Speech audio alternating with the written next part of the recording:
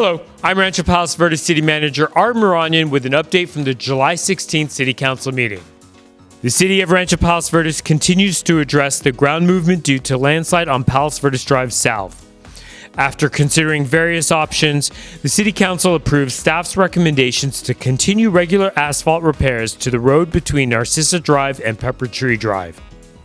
The city is spending more than a million dollars a year to repair Palos Verdes Drive South within the landslide complex.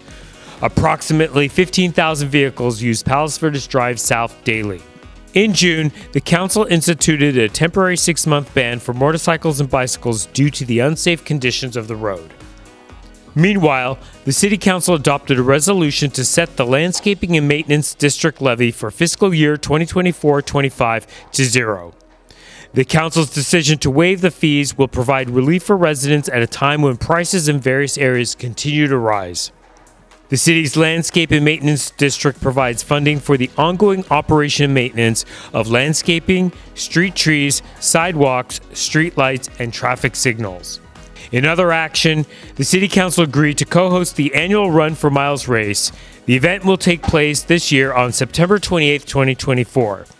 The 5K 10K family run is paid for by the Run for Miles organization, and all proceeds from this event will be donated to the city of Rancho Palos Verdes for the purpose of parks and trail preservation. Last year, the event raised $35,000, and the event was created in memory of former RPV resident Miles Helm, an avid runner who loved trail running in the city of Rancho Palos Verdes.